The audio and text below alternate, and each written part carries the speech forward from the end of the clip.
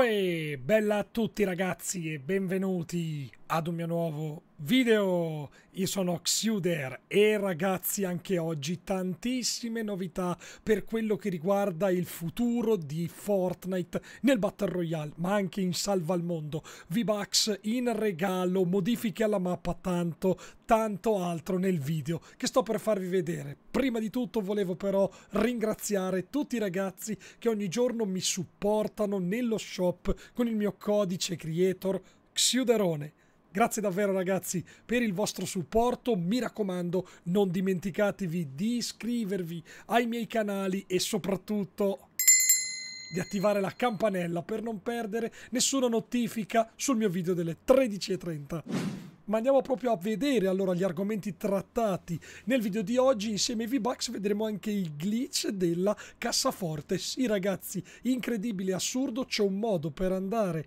nella cassaforte dell'agenzia senza avere la chiave. È assurdo, ve lo faccio vedere e ovviamente una bella sbadilata di leaks per tenervi sempre aggiornati anche sul dietro le quinte. Ma prima la domandina, ragazzi, ve la devo fare, lo sapete che ci tengo tantissimo a leggere i vostri commenti proprio qui sotto. Domanda di oggi, una delle più semplici in assoluto. Ma finalmente mi vuoi dire a che livello siete arrivati? Dai ragazzi, oramai le settimane volano, la season termina il 29 aprile.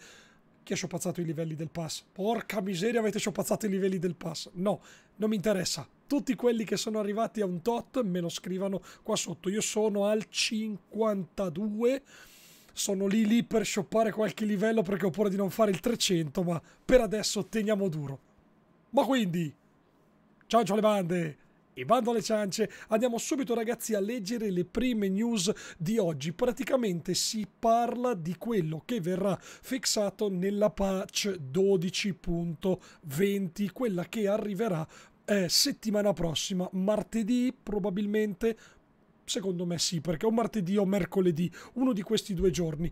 Eh, la prima cosa ufficiale che viene già eh, resa ufficiale appunto è che verranno rimessi dei banner nell'armadietto che sono stati involontariamente tolti, quindi non si sa bene perché. Questo invece è molto interessante. Non è possibile piazzare le trappole se l'icona della trappola non ha finito di caricarsi.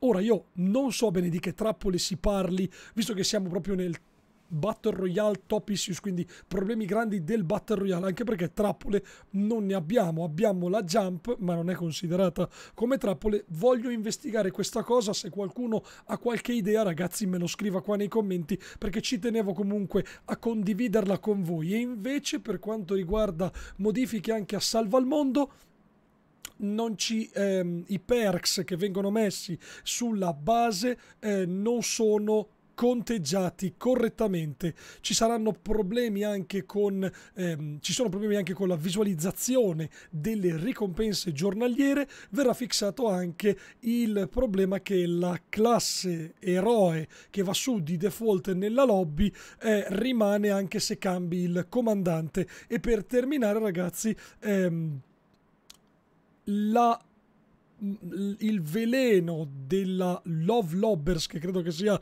qualche modalità particolare che io non conosco, potrebbe eh, causare i danni eh, continuativi, semipermanenti continuativi, quindi fix anche di queste cose su Salva al Mondo. Io ci gioco, vi consiglio sempre di provare a giocarci perché non è affatto male di prenderlo perché dà un bel po' di V-Bucks. Ma voglio farvi subito vedere invece il glitch che si è scoperto per entrare nella cassaforte dell'agenzia. Mi metto un attimo a tutto schermo. Guardate un po' qua, ragazzi, guardate che roba. Praticamente il tizio, qua siamo dove c'è il camion di reboot dell'agenzia, costruisce tre muri, ok? Libera il corridoio qua, il corrimano, mette una scala per eh, essere un pochettino più comodo, va a prendere il motoscafo e come vedete gira col motoscafo, punta la scala, sale sulla scala, qua non è facilissimo ma riesce a non distruggere le strutture, guardate che storia, piazza il motoscafo nelle tre strutture, chiude e mette una piramide. Sbronk! What a. È assurda e meravigliosa allo stesso tempo questa cosa, ragazzi, perché è veramente incredibile il glitch che c'è per entrare con il motoscafo nella cassaforte. Provateci, fatemi sapere se anche a voi funziona. E andiamo avanti ragazzi perché ci sono tanti aggiornamenti anche per quanto riguarda la patch 12.20. Ci viene detto che Epic Games sta testando ripetutamente la patch 12.20 in varie build, quindi con delle modifiche una dall'altra si hanno ehm, delle informazioni interessanti su tre stringhe che si chiamano pre-deploy B, quindi il deploy lo sappiamo, è quando tu apri il paracadute. Ora io non so se pre-deploy stia a significare un qualcosa con l'apertura continuata dei paracaduti potrebbe però, attenzione, essere il paracadute che si apre quando ci si butta dall'elicottero. Mi immagino un elicottero che viene mitragliato e che quindi è in fiamme, non è che esplodi con l'elicottero, probabilmente c'è la possibilità di riaprire un paracadute. Poi abbiamo invece Dev Playtest G e Dev Playtest K, che sono appunto delle prove proprio sulla mappa del Battle Royale, eh, molto probabilmente appunto dei nuovi veicoli. Insomma, ragazzi, staremo a vedere questi elicotteri quando arriveranno perché davvero io non vedo l'ora di vederli in game. E andiamo avanti anche perché le sfide di ieri, quelle della settimana numero 3, ci danno la possibilità appunto di cominciare la scelta per TNT Tina. Vi avevo già fatto vedere nel video di ieri le due varianti, quindi eh, spettri e, um, e ombre belle tutte e due Tina in entrambi i casi, questa è la mappa classica che di solito possiamo trovare per svolgere tutte le missioni, alcune